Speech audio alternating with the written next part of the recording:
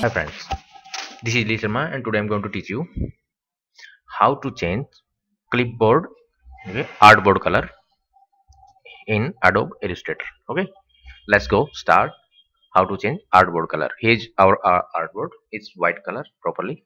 Okay, by default it's been white. Okay, and if you want to change the color of clipboard, we can go file menu and here we go document setup okay?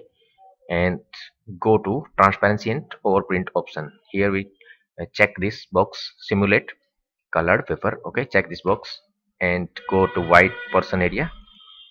And here we can choose the color. Okay? And add to custom color and click ok. And click ok then again. And here is our colored artboard. Okay? I hope you like this video or enjoy the, enjoy this video and you now you can change your artboard anytime. Okay friends. Thank you so much for watching my video. Thank you